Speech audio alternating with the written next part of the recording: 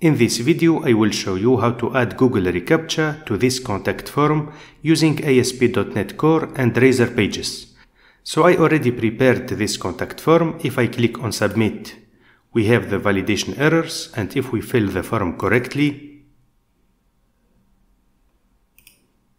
we obtain this success message. So first let's take a look at the source code. So here we can see that I created this project that uses Razor Pages. And I already created this Razor page, which is the contact page. So this is the page. If we have an error, then we will display an alert with the error message. But if we have a success message, then we will display another alert of type success where we will display the success message. Then we have this form that will be submitted using the post method. So we have the username, we have the email address, the subject, then the message. And this is the submit button. Let's take a look at the code. So here we can see that we have four properties that are bound to the contact form. And we have these two fields to display either the error message or the success message. In the onGet method, we have nothing, and in the onPost method, we will check if the submitted data is valid or not. So if we have any validation error, we will display this error message. But if the data is valid, then we will display this success message and we will clear the form. Now let's add Google reCAPTCHA to the contact form. So let's go to the browser and here let's type Google reCAPTCHA. Let's go to the first link, then admin console. Let's set the name of this application Let's select version 3 of Google reCAPTCHA, then let's provide the domain. Then submit. Then we need to save the site key and the secret key. So let's go to our application. Let's go to appsettings.json and let's create a new section. We can call it reCAPTCHA settings. We need the site key, the secret key, and the verification URL. So first, let's set the site key and the secret key.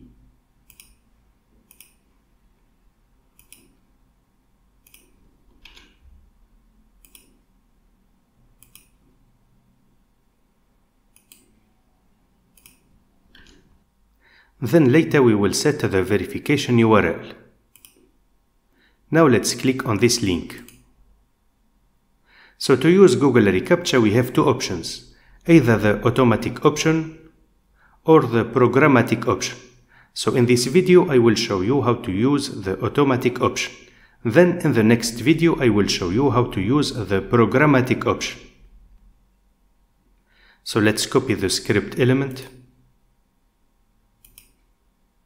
Let's go to the contact page and let's paste it before the HTML code.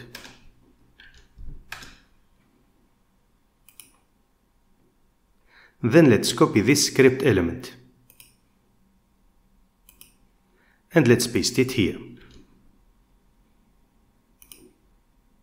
Then let's copy the source code of this button.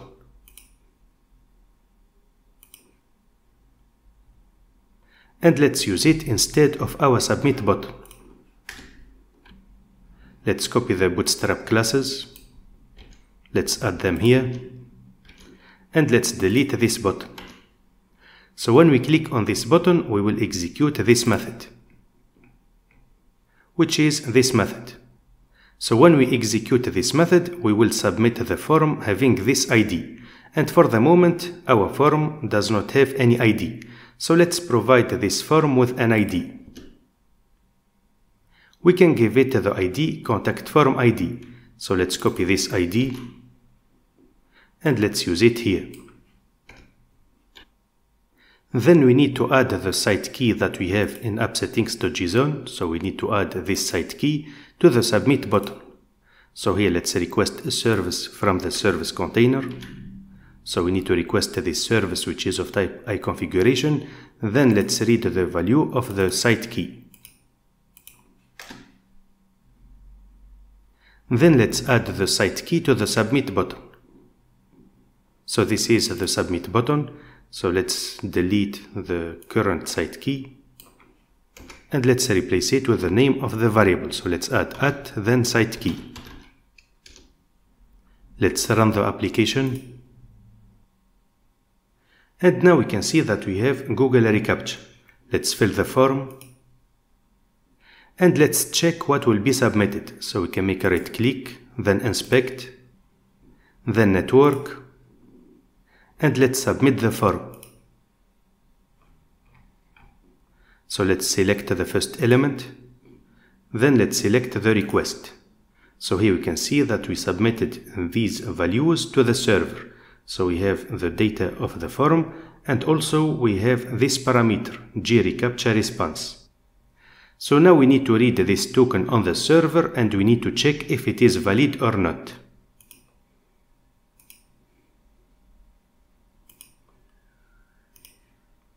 So let's click on this link. So here we can see that we need to verify the reCAPTCHA token. So we need to read this parameter from the post request. Then we need to send a post request to this URL and we need to include the secret, which is the secret key, and the response, which is the Google reCAPTCHA token.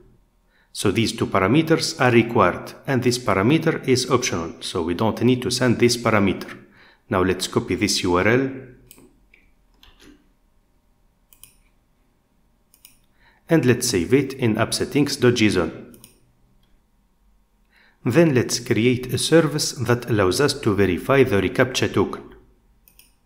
So first let's create a new folder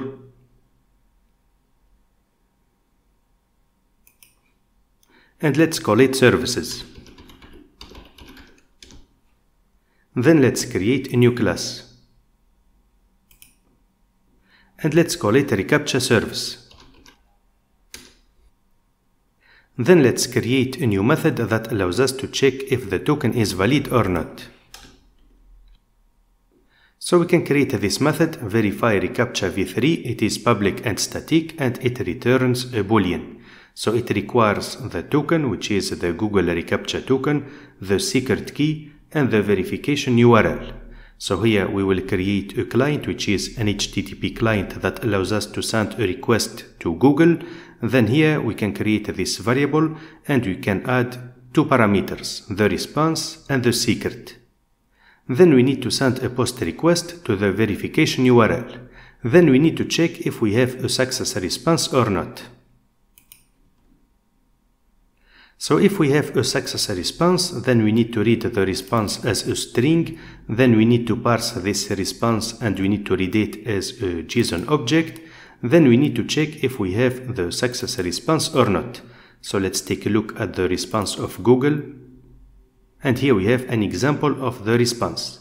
We can see that it is a JSON object that contains the success key.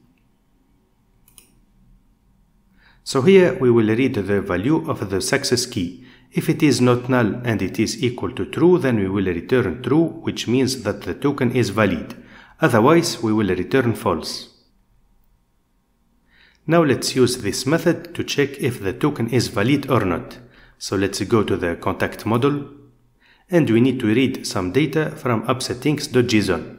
So let's create the constructor of this class and let's request a service of type iConfiguration. Let's save it into a field. Then in the onPost method, we need to check if the reCAPTCHA token is valid or not. So if the submitted data is valid, then we need to check the token. So first let's read the Google reCAPTCHA token from the request and the name of the parameter is gReCAPTCHA response. Then we need to read the secret key from appsettings.json and we need to read the verification URL from appsettings.json. Then we need to check if the token is valid or not. So we can call the class reCAPTCHA service.verify reCAPTCHA v3. We will provide it with the token, which is the reCAPTCHA token, the secret key, and the verification URL. Then we will check if we have a valid token or not. So if the token is not valid, then we can display this error message to the user. Otherwise, we can reset the form and we can display this success message. So here we can see that we have this error because we are using await into this function which is not asynchronous. So let's delete void and let's replace it with async task. Let's run the application.